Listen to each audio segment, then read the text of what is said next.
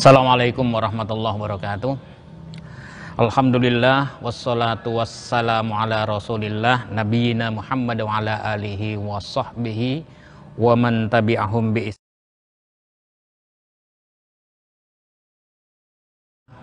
Allah curahkan hidayah pencerahan kepada kita semua dan semoga wabah penyakit diangkat oleh Allah Subhanahu wa taala.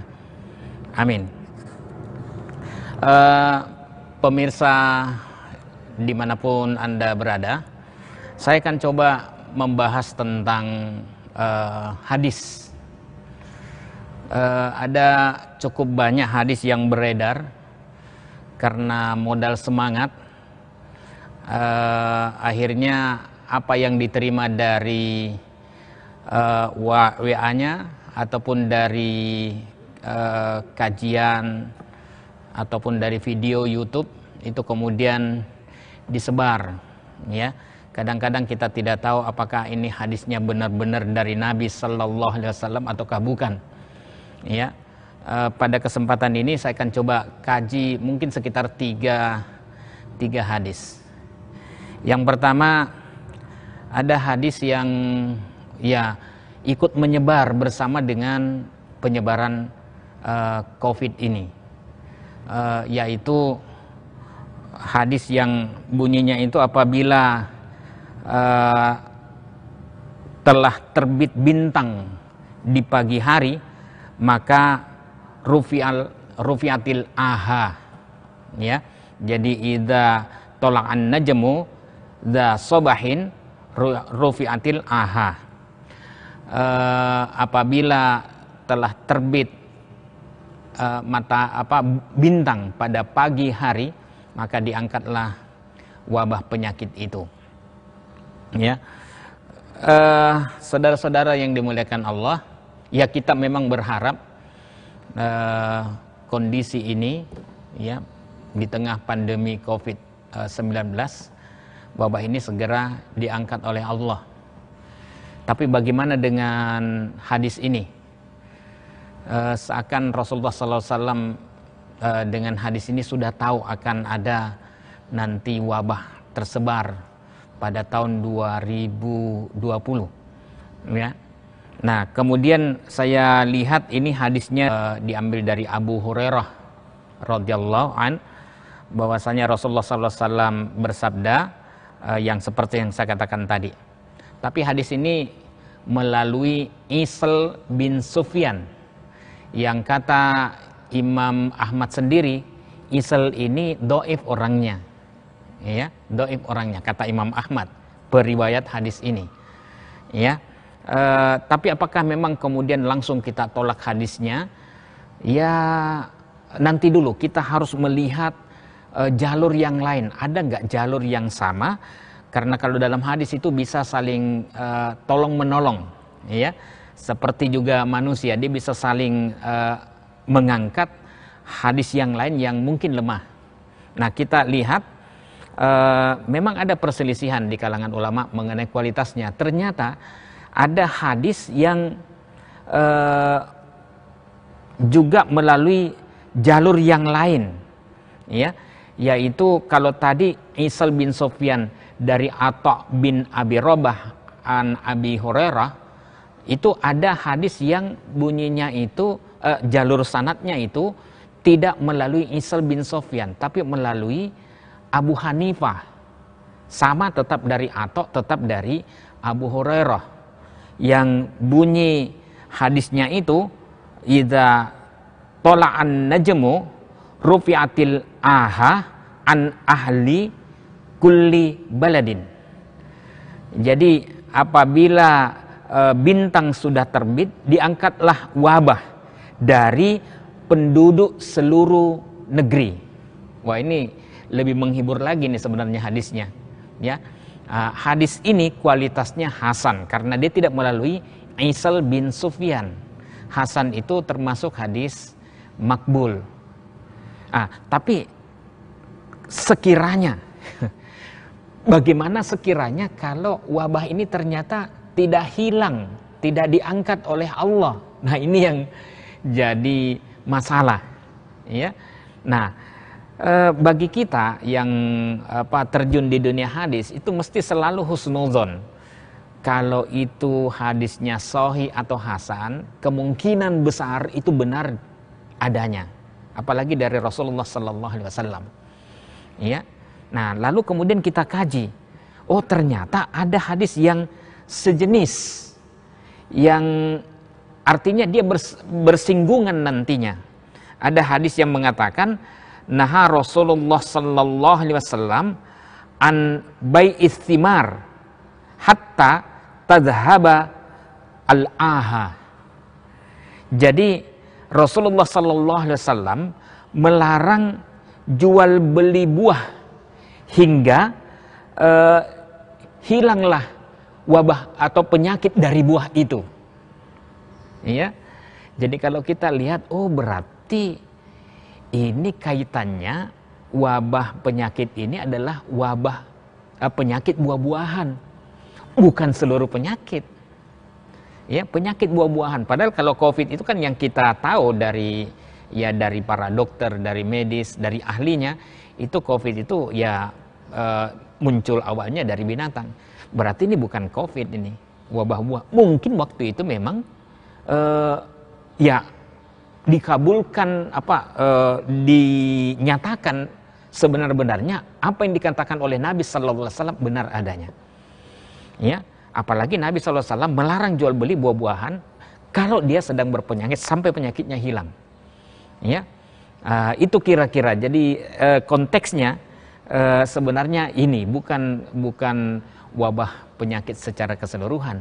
Jadi klub uh, benar apa yang disampaikan oleh Rasulullah Sallallahu Alaihi Wasallam. Nah, ada lanjutannya sebenarnya itu uh, pertanyaan dari apa namanya dari Utsman bin Abdullah ya bin Suraka.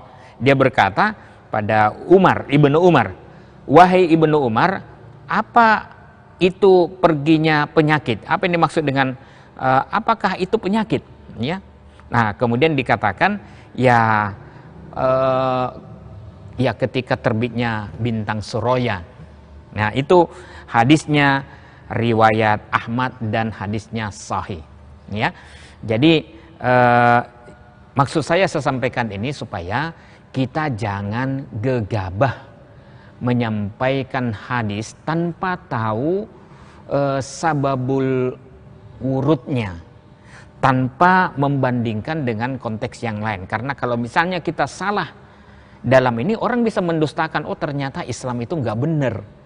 Sekiranya, ada yang mengatakan, kapan itu? Oh ada yang sampai menjelaskan dalam video tanggal, eh, sorry, bulan lima tang, ya, pokoknya bulan Mei inilah, bulan Mei. Bulan Mei ini diinikan. Nah itu yang bisa membahayakan orang kemudian mendustakan Nabi Sallallahu Alaihi Wasallam. Padahal Nabi Sallallahu Alaihi Wasallam benar, cuman kita tidak tahu konteksnya apa. Ini yang pertama. Baik, kemudian coba anda cek hadisnya ini. Video itu dengan lantangnya seorang ustadz yang menjelaskan tentang hadis ini. Kemudian ada lagi uh, dibuat videonya, wah bagus sekali.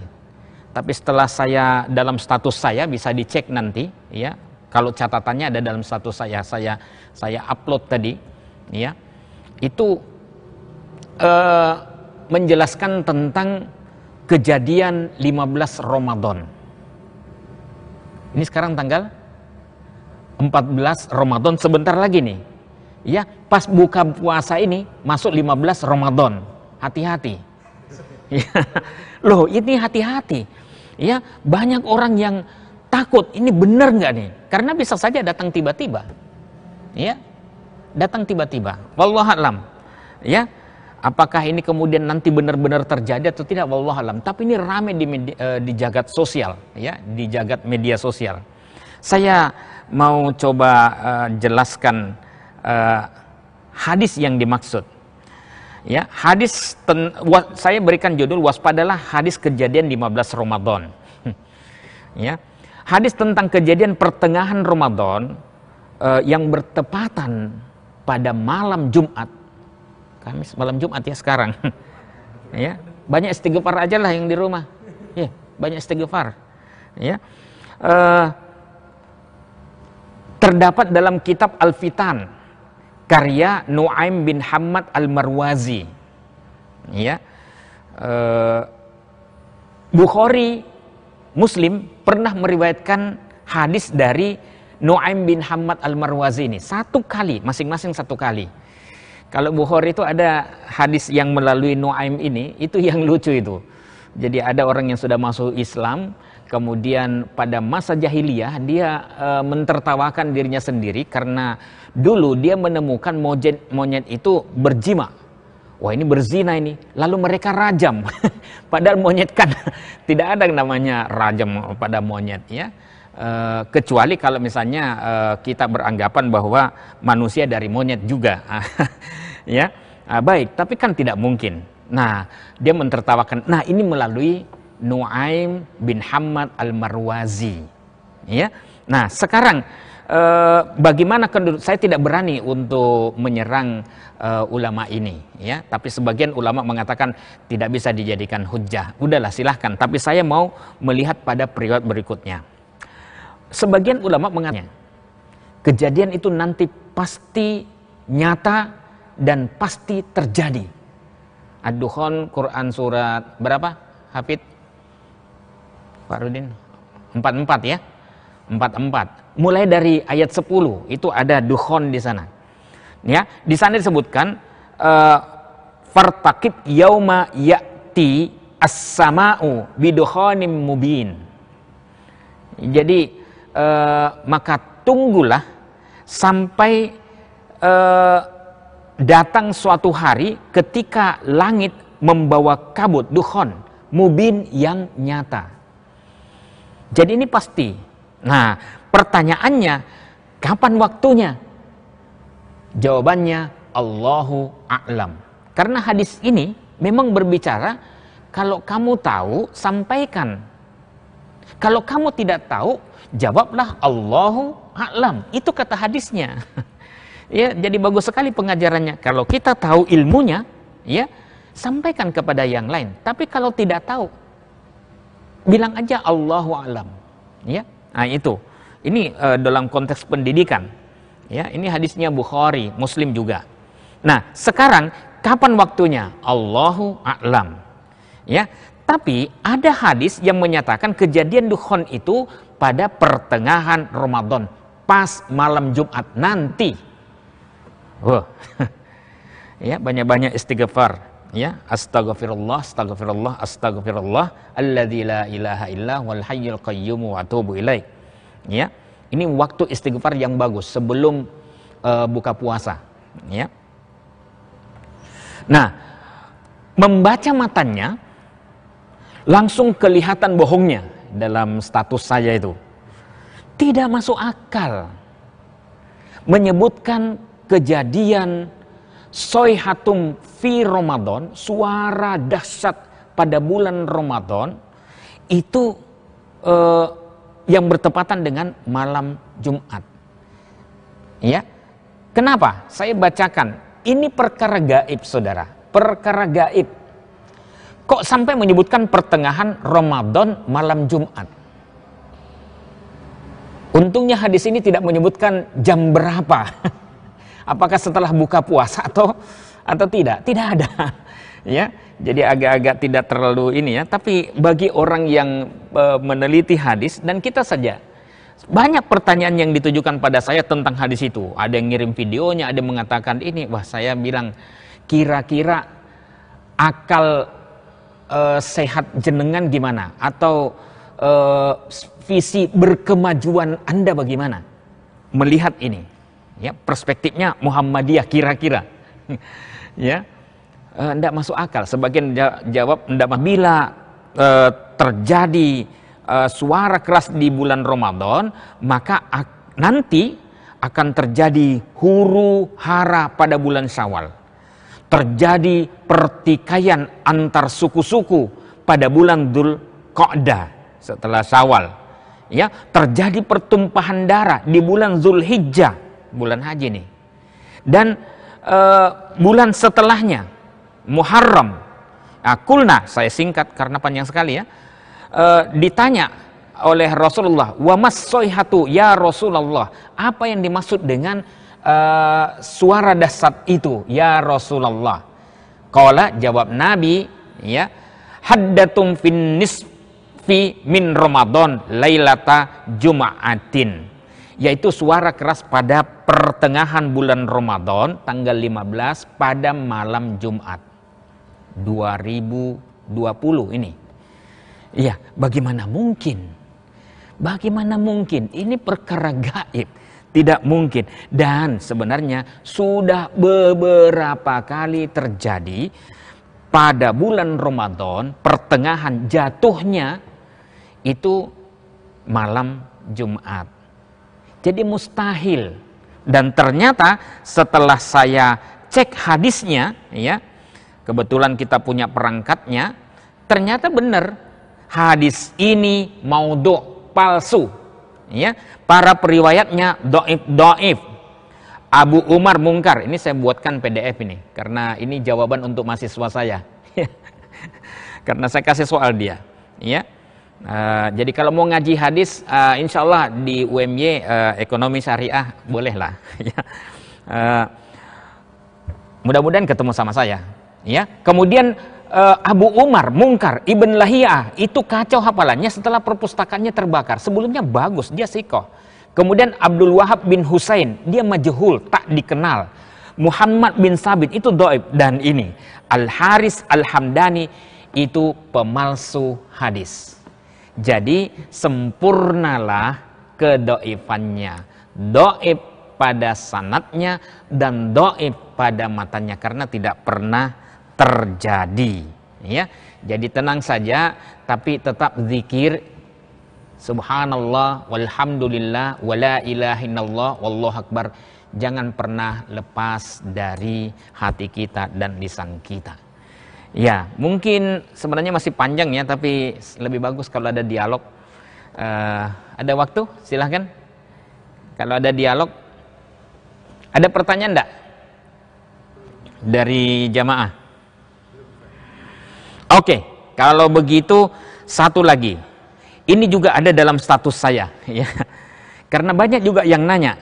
Dia nanyakan tentang uh, bagaimana dengan menghadapi uh, Syawal nanti, sholat idnya bagaimana? Lah, saya bilang sama yang bertanya, iki wes Arab bodoh po, eh sorry bahasa Jawa, ini sudah mau lebaran po, kok nanya? Tapi mungkin antisipasinya jauh karena sudah ada juga apa teman-teman uh, ustadz yang lain yang membuat video, tidak masalah. Ya, saya jawab di sini. Begini, memang ada perbedaan pendapat dalam masalah ini. Ya status saya mumpung belum hilang ya uh, buka ini saya. Kemudian uh, kita hormati ijtihad ulama dan kita hormati sikap masing-masing ormas. Ya begitu. Nah kemudian tapi saya cenderung memilih pendapat bahwa jika wabah covid tetap mengancam saya sudah tanya sama Tarji ya ini COVID-nya ini semakin luar biasa ini. Pare-pare barusan kena. Maaf, di Jawa Timur, daerah Sidoarjo, masjid saya tahu masjidnya, itu semalam dia taraweh langsung petugas kesehatan punya inisiatif. Dah, kalau memang tetap bersemangat untuk taraweh, kemudian setelah itu kita cek dan innalillah, naudzubillah ya, e, ternyata ada enam jamaah yang terkena COVID itu. Jadi saya katakan bersabar saja. Karena orang Islam itu ketika menghadapi musibah ini bersabar. Kita ambil skenario kedua dari Nabi Sallallahu Alaihi Wasallam. Tetap aja di rumah dulu, beribadah dari rumah. Sampai benar-benar pemerintah atau dinas kesehatan menyatakan sudah aman, silahkan. Jadi jangan berspekulasi. Saya tidak berani menyuruh jamaah saya untuk mari kita sama-sama ke masjid. Itu namanya spekulatif. Padahal wabah kita belum tahu ya redanya. Ya. Nah, kemudian uh, ya saya cenderung memilih pendapat jika wabah Covid tetap mengancam tidak perlu disenggerakan sholat id di lapangan dan di rumah. Menurut hemat saya, ini beda hukumnya dengan sholat lima waktu atau sholat Jumat yang hukumnya fardu. Ada solusi dan contohnya untuk sholat di rumah. Azan saja disuruh, uh, sholatlah kalian di rumahmu. Tapi kalau sholat id, nah ini tidak ada contohnya untuk sholat di rumah. Hukumnya pun sunnah, meski muakkadah, meski sangat ditekankan. Ya, nah kita berikhtiar dan berdoa semoga dengan kedisiplinan kita dan doa kita wabah ini segera diangkat oleh Allah Subhanahu wa taala.